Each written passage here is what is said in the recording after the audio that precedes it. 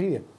Здорово, когда ты, посмотрев или прочитав какое-то произведение, узрел в такой чеканной формулировке мысль, которая, ну, не то чтобы тебя поразила, но произнесенная вслух, она как-то открылась и задышала. Я сходил в театр. Театр называется «Около дома Станиславского». Это такое название театра. Люди образованные, безусловно, знакомы с этим местом. Но я к таковым себя не отношу. И не из скромности, конечно, боже упаси, просто по факту. Так вот, театр около дома Станиславского. И я там посмотрел спектакль «Ля эстрада». И, конечно, спешу поделиться ощущениями. Это восхитительный театр. Я вообще спокойно отношусь к театру и к театральному искусству, э, как раз за то, что многое мне там кажется искусственным. Все эти условности, нарисованный дождь, условная лошадь или что-то в этом роде. Не всегда мне это близко, а учитывая цены на посещение театра, играть в эту лотерею мне ну, нравится не очень. Но тут меня пригласили, я, если честно говоря, был в полном восторге.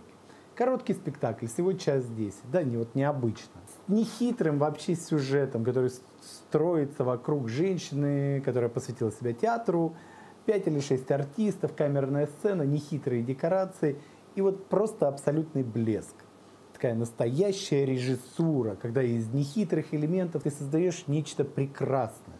Легкая манера актерской игры – Часто люди недооценивают ту титаническую работу, которую проводит артист, чтобы легко исполнить роль или номер. Легкость это обманчиво. Меня, конечно, не проведешь так просто. Я немного работал с артистами и представляю всю эту огромную кучу проблем, которая горой такой лежала перед режиссером, когда он решил ставить эту пьесу. Артисты в этом спектакле существуют в такой, знаете, манере, когда у вас создается ощущение, что с вами разговаривают на таком простом человеческом языке, без высокопарных фраз, без драматических поз. Просто вот говорят и действуют.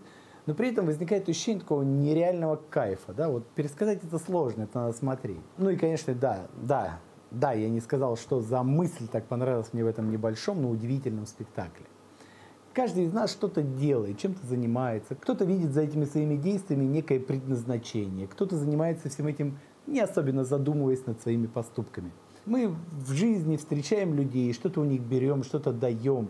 Но все это делается не потому, что мы что-то должны делать, а потому что мы такие и не делать этого не можем. Мы просто не можем по-другому жить. Вот лежит человек на диване, ему все говорят, что надо идти там, работать или учиться. И он, конечно, подчиняется этим требованиям общества, но при этом при первой же возможности все к чертям бросает и уваливается на свой любимый диван. Или есть трудоголик, который вертится как белка в колесе. Ему, конечно, кажется, что он делает все это для карьеры или там, для заработка. А вы достаньте из его жизни достаток и карьер. Думаете, он ляжет на диван и будет лежать? Он все равно будет носиться как угорелый. Все мы созданы какими-то ленивыми, глупыми, умными, жадными. И изменить нас не так-то и просто. Наши хорошие поступки – это часть нас. Плохие поступки – это тоже часть нас борьба с собой или борьба с другими. Черт, похоже, объяснение не мой конек. И это тоже часть меня. Люблю объяснять, а не умею. В общем, всем, у кого есть такая возможность, рекомендую театр около дома Станиславского, а тем, у кого такой возможности нет, просто сочувствую.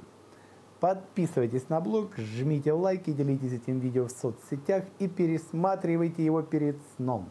Можно заставлять смотреть близким, если они чем-то вам насолили. Удачи вам. Пока.